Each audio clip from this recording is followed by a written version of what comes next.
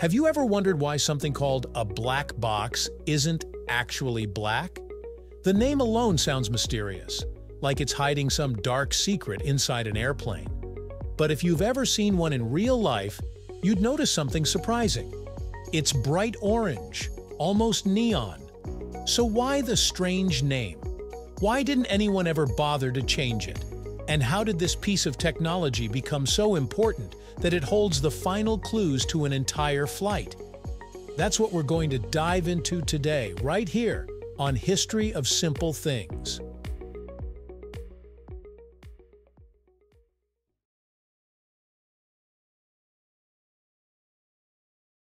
The term black box has been around for much longer than modern aviation. In fact, it didn't even start with airplanes.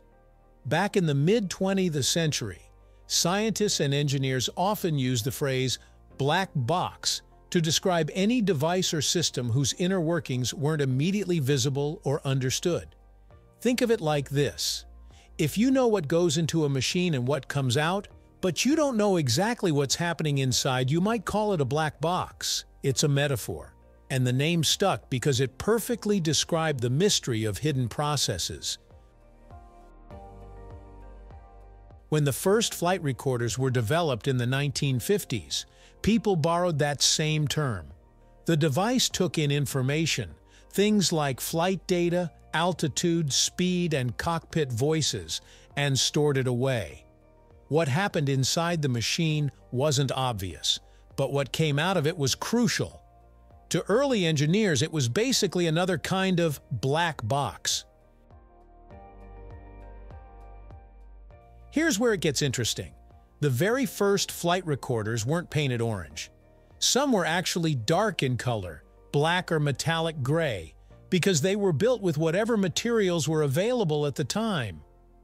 Back then, the main goal was not making them easy to spot after a crash, but simply making them function. These devices were still experimental, and aviation itself was moving quickly into a new era. It wasn't until later that visibility became a top priority. So, in the early days, calling them black boxes wasn't all that inaccurate. The nickname just carried over even as the technology and appearance evolved. Now let's answer the obvious question. Why are today's black boxes painted bright orange? The answer is simple but extremely practical – visibility. When a plane crashes, investigators need to find the recorders as quickly as possible. A dark or neutral-colored device would be nearly impossible to spot among wreckage, debris, or underwater environments. So instead, they painted them in high-visibility colors. The standard choice became a bright, almost neon orange, sometimes with reflective strips. It's the same logic behind why life vests and emergency rafts are bright orange.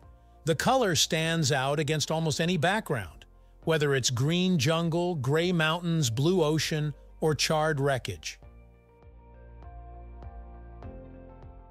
Interestingly, in official aviation terms, the correct name isn't even black box. It's the Flight Data Recorder, FDR, and the Cockpit Voice Recorder, CVR. Both of these devices are usually housed together, and both are painted in that distinct orange so search crews can find them faster. So what do these orange boxes actually do? A lot more than most people realize. One part, the flight data recorder, captures hundreds of parameters from the aircraft, that includes speed, altitude, engine performance, control inputs, and more. Modern planes can record thousands of different data points, giving investigators a precise picture of how the plane was behaving before an accident. The other part, the cockpit voice recorder, captures the last two hours of conversation and sounds in the cockpit. That means the pilot's voices, radio transmissions, warning alarms, and even background noises, like switches clicking or engines humming. When investigators put these two recordings together, they can often reconstruct exactly what went wrong and why. That's why the black box is so vital. It tells the story of the final moments of a flight when no one else can. Another reason the black box deserves its reputation is how incredibly tough it is.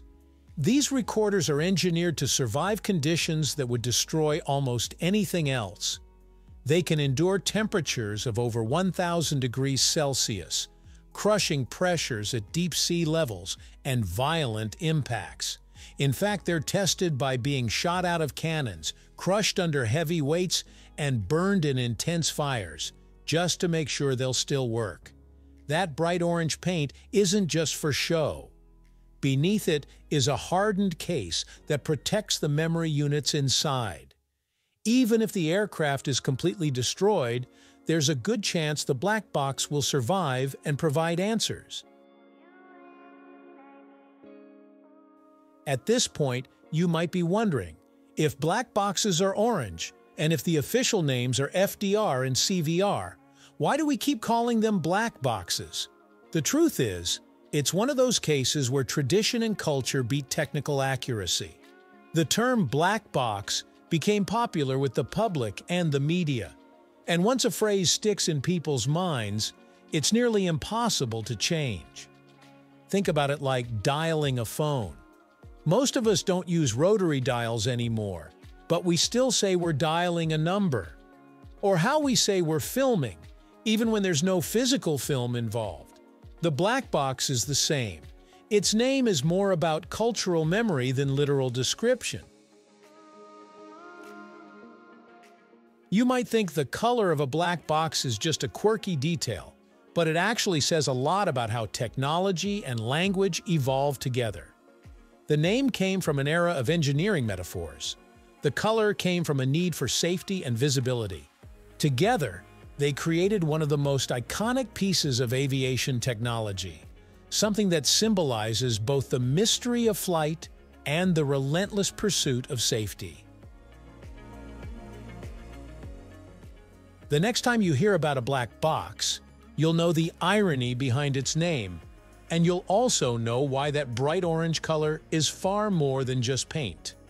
Without it, countless accidents would remain mysteries, it's a lifeline to the truth. So yes, black boxes aren't black at all. They're orange, tough as nails, and absolutely essential.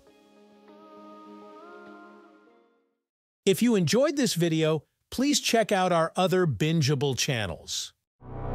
Thank you for joining us on this journey through the history of simple things. Don't forget to like, subscribe, and stay tuned for more stories woven through the smallest details.